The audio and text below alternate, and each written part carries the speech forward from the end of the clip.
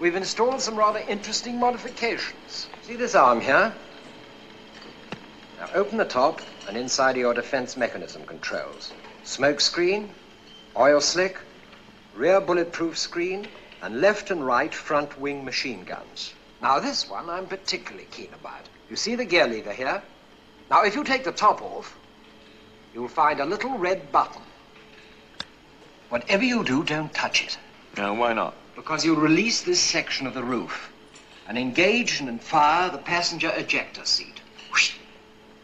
Ejector seat? You're joking. I never joke about my work, 007.